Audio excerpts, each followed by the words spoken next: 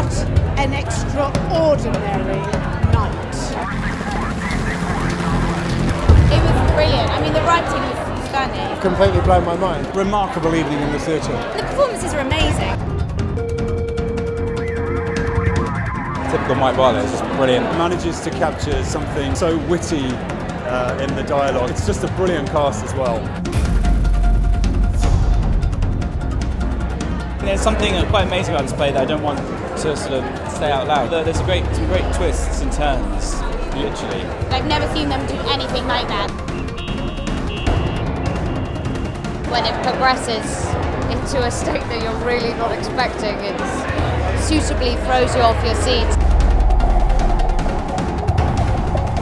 I think it's a really important play, and it's questions that need asking security and privacy and truth and what we believe in. Your seats, is what I would say. Hampstead, it holds up a flag for new writing, new thoughts, directors, and new young actors. Spectacular. Sublime. You just have to see this play.